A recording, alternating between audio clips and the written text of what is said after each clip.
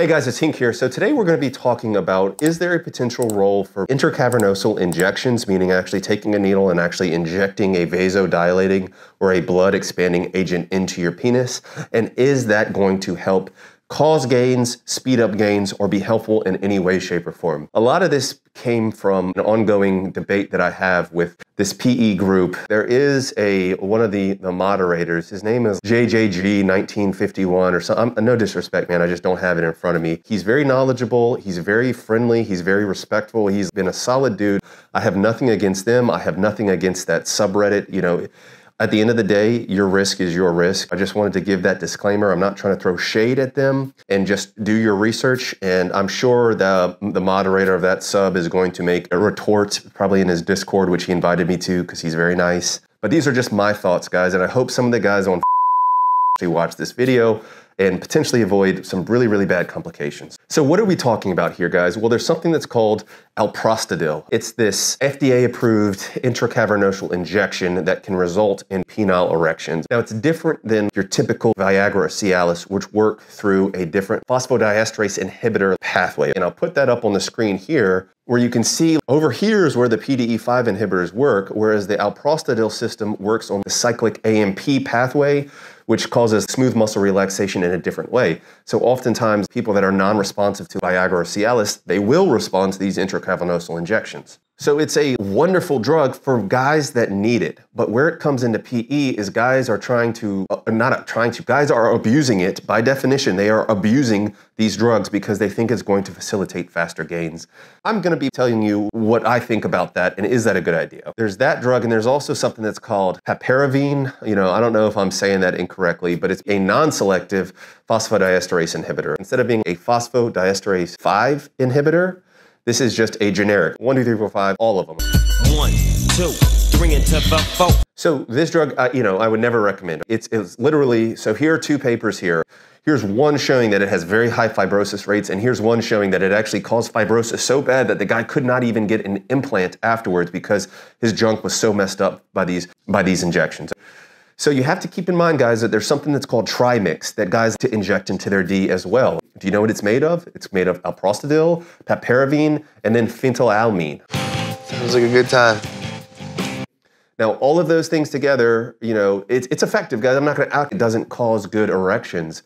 But once again, one of those main ingredients is what I just said causes permanent fibrosis. Can cause, not necessarily guaranteed. And, and, just to be clear, when I'm talking about intracavernosal, I mean the actual caverns. Here's a picture here. You take a needle so you can see where, where it's actually injected into the penis. Thank God I have some faith in humanity that most guys would not consider injecting anything into their penis unless they literally had to. They could not get an erection otherwise. These guys, and you know, BD has done this, and I've publicly gone against BD for this, guys, so I'm not throwing shade at them, but I'm, oh, BD's fine. No, I thought it was stupid when BD did it as well, and I made that very clear. And this is the one and only time I'm going to say this, guys. Do you, if you want to do this, you have done your research and you feel this is a safe thing to do, then more power to you. That's, that's on you. I'm telling you my opinion, you're on my video. So alprostadil, also known as a prostaglandin E1, I said it works on a different pathway, but there's, there's literally papers showing, here's a paper right here, guys. What it showed was that in the guys that injected five times per month, once a week, over the span of just over two years, so 145 injections, there was a 25% risk of penile fibrosis. That is extraordinarily high, guys. That is directly related to the alprostadil injections or the PGE1. So here's a quote Of the remaining 245 patients, 57 or 23.3% of them were found to have penile fibrosis, guys. One in four. Now, this is a specific trial with a specific population of older men with erectile dysfunction not otherwise healthy guys that don't have injection, that erectile dysfunction, just trying to get bigger. But still, guys, that is an shockingly high rate. And they even say patients should be specifically warned of the possibility of penile fibrosis and should be instructed on self examination so that they can report it. This is inherently dangerous and, in my opinion, stupid.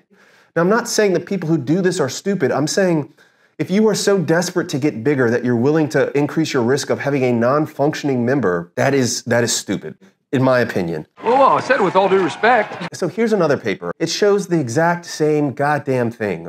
you're going to get fibrosis. You're not going to, it's not guaranteed, but you're dramatically increasing the risk of fibrosis.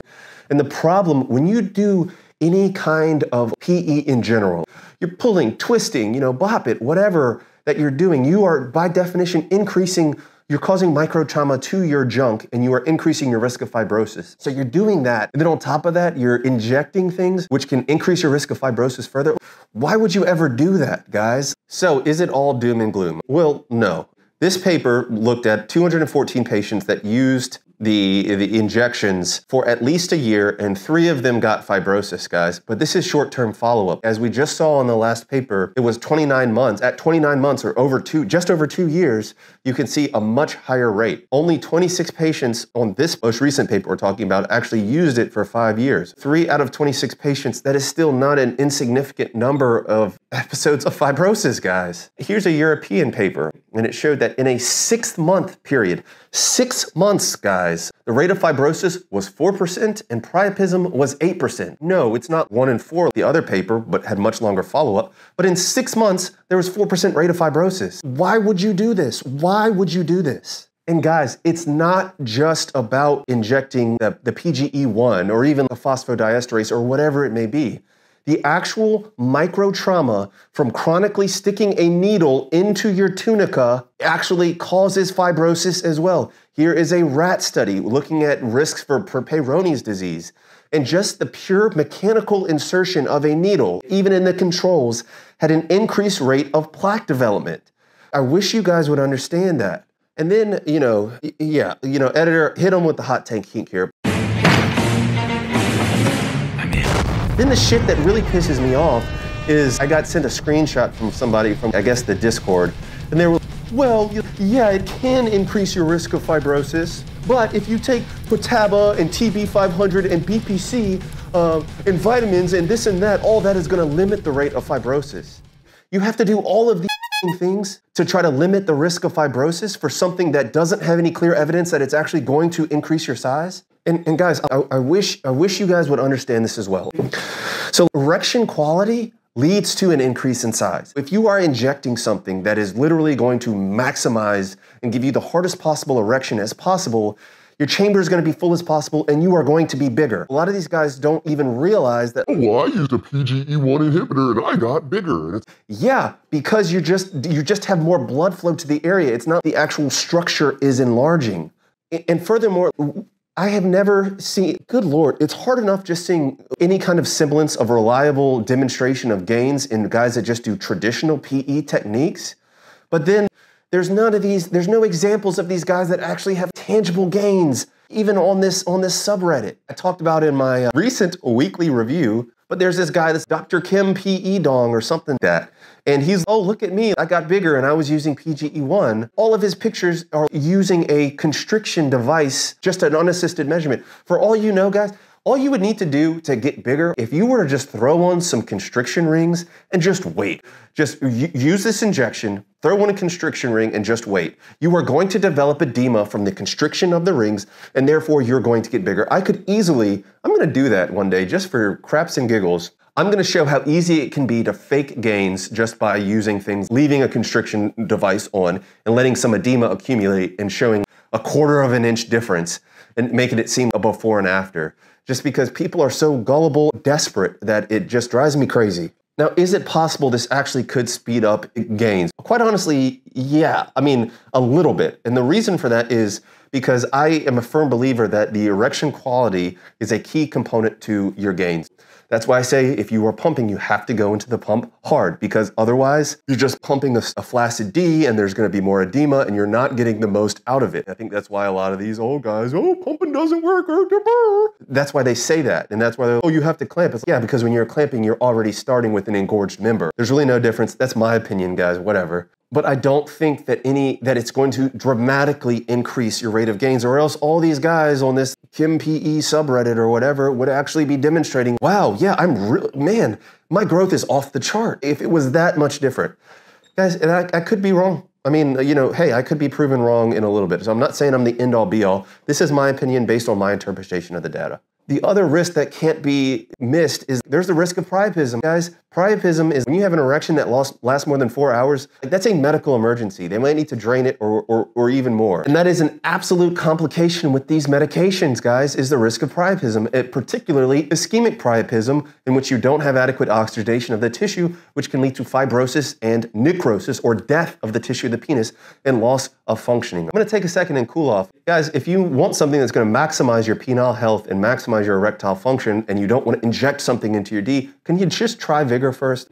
It's a great product, Amazon choice, it's back in stock. We also have all our products on leviathansupps.com. And of course, if you want a high quality pump during your enlargement process, go to peakmalephysique.com, okay? So guys, you have to be smart out here. To me, this is, there's this whole generation of people you know, kids these days with their skateboards and their goddamn loud music. That's what I feel. I'm this old man, you know, yelling at the clouds. But these guys want instant results. Instead of working and training natural in the gym, these guys go on gear in their 20s. Yeah, it takes time, but at least it's going to be safer and lead to more health long term. This, this is the equivalent of trying to go on gear for faster gains. It's just, it's not going to lead to necessarily faster gains. It's, oh my gosh, you know, I'll, I'll do anything to get stronger. I'm going to go on all these different products.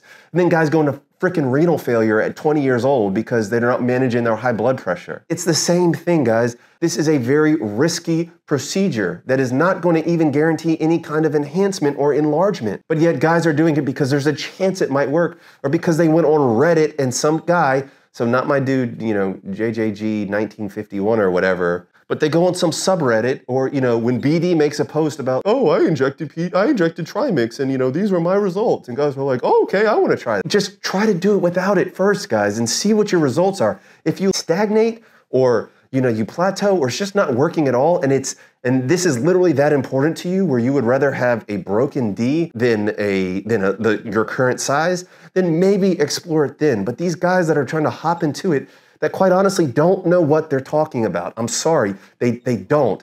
There was a guy on there talking about how lysyl oxidase is safe, and it's a freaking drug used for myelodysplastic disorders. And they're, like, oh yeah, it's phase one approved. It's, are you freaking kidding me? But of course, I, ma- I made a video about that about, oh, is this anti-lux drug the future? No, it's not. None of this stuff is safe. Anyways, guys, thanks for listening. Thanks for watching. I'll catch you guys on the next one. Peace and love.